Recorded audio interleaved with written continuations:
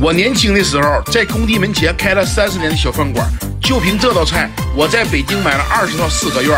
今天就把祖传配方分享给你。五花肉，咱们给它切成厚厚的薄片，凉水下锅，咱们放入葱姜料酒，捞出洗净备用。起锅烧油，放入冰糖，咱们小火给炒至枣红色，放入五花肉，咱们加入我家的清水，来点红烧酱油调个颜色。放入葱姜、香叶、桂皮、八角、咸盐、十三香、鸡精、蚝油，盖盖，咱们炖它半个小时，炖熟捞出料渣。家人们，阿豪主页更新了四百多道家常美食，每一道都非常详细。如果你一次双击都没给过我，今天就给我一个吧，感谢了。撒入迷人的小葱花，开吃。起来，人们喜洋洋。the